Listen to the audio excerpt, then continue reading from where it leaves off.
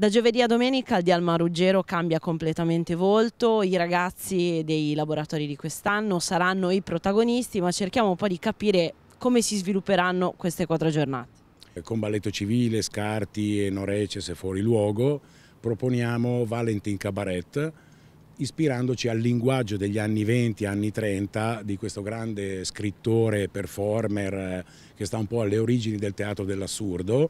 del nonsense e dell'ironia feroce. Vi sorprenderemo con l'allestimento di Valentin Cabaret,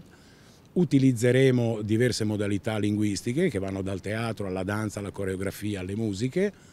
mm, quindi noi speriamo di, di riuscire a proporre, grazie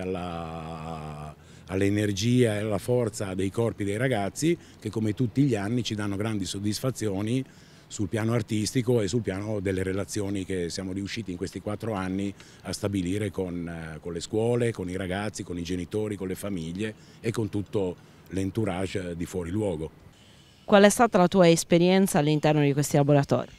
Allora, io sono partita come attività un'attrice che faceva un ruolo secondario e piano piano con gli anni, grazie comunque alla mia passione, cosa che amo tanto è il teatro, e all'amicizia che si è creata con comunque il gruppo attoriale, non siamo solo amici ma siamo diventati proprio una famiglia, piano piano sono spiccata come tanti altri ragazzi all'interno del gruppo. La cosa particolare di questo laboratorio è che ti crea sia dal punto di vista intellettuale che dal punto di vista morale, interiore e soprattutto dal punto di vista umano, ti fa collaborare lavorare con persone che non sono nella tua realtà ogni giorno e ti fa diventare amica con tutti.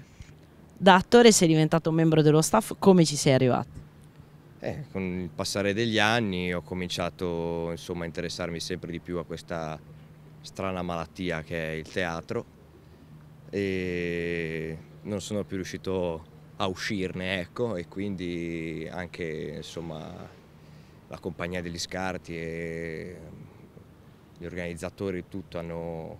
capito il mio interesse e mi hanno infilato dentro questo mondo